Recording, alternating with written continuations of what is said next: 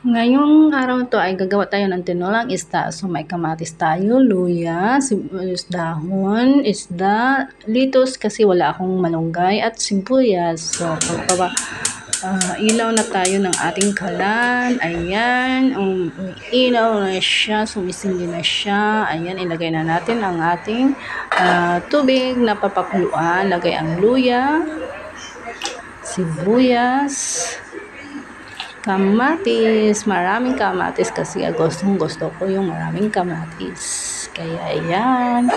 So, habang papakuluan natin yan ay merong isang mabulilit na naglalaro sa ilalim ng kanyang upuan na malapit sa kalan.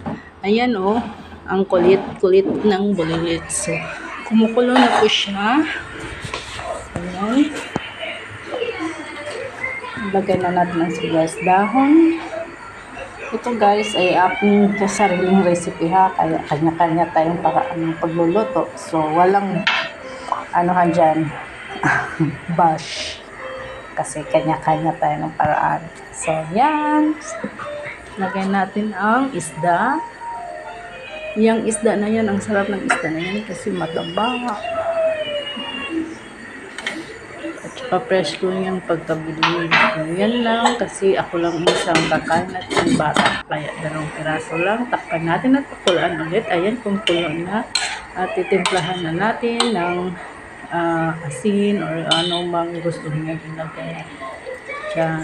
So, Ayan po, uh, timpla na. Sa ngayon, ilagay ko na ang litos. Litos kasi wala kaming malunggay dito sa Turkey.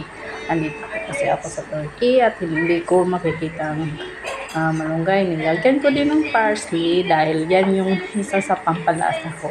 Kasi wala akong bitsin dito at wala akong ibang pampalasa. Kaya parsley lang ang nilagay ko. Healthy pa. So, diba? Yan, takpan muna natin sandali. At maya-maya ay uh, kaunin na natin. Nilagyan ko din pala yung ginawa kong chili sauce. Kasi yan yung pampaanghang kasi wala akong nabili. Nakalimutan kong bumili ng sili. So, ayan, ilagay na natin. Ayan, naglagay na ako ng isang kutsareta ng chili sauce na ginawa ko. So, migos-migos lang po natin yan para lumasa naman ang buong ano, tinola.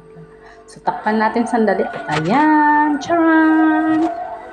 Ang sarap naman! O, diba? Kain na tayo, guys. Mayroon pa akong konting kanin. Tara! Pagpasensya nyo ng mukha ko.